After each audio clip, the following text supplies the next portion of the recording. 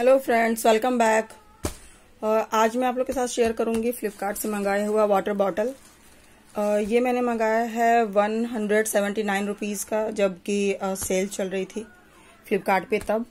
तो मुझे तो अफोर्डेबल लगा ये बॉटल तो ये है सिक्स पीस का बॉटल ये वाइट कलर में है.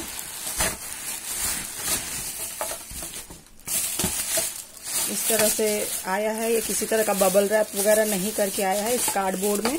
और इस तरह से सेल्फिन वाली बैग में इन्होंने दिया हुआ है थ्री थ्री का पैक है। ये इस तरह के डायमंड शेप में है ये।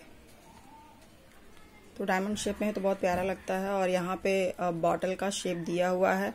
और यहाँ पे आप देख रहे हैं गोल्डन स्ट्रिप बनी हुई है, जिससे कि थोड़ा सा रॉयल लुक आता है तो बहुत प्यारा लगता है।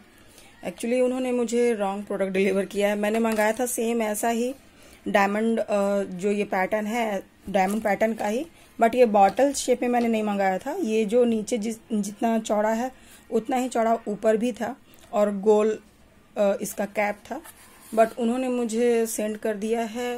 पैटर्न तो सेम है बट ये जो बॉटल का शेप है, वो उन्होंने मुझे रॉन्ग सेंड कर दिया है ये बॉटल शेप में।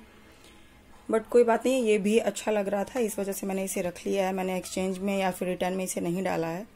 क्योंकि डिज़ाइन तो वही है, बस थोड़ा सा चेंज है।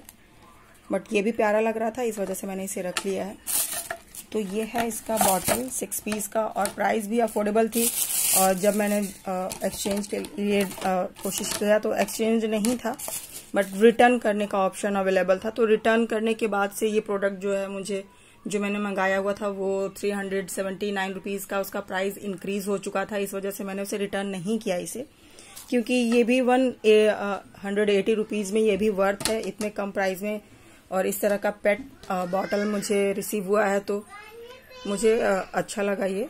घर में भी सबको पसंद आया तो इस वजह से मैंने इसे रख लिया रिटर्न नहीं किया। बॉटल अच्छा है वन लीटर की कैपेसिटी है इसकी। और बहुत ही रॉयल लुक में है ये। बहुत प्यारा बॉटल है। आप लेना चाहें तो इसे ले सकते हैं।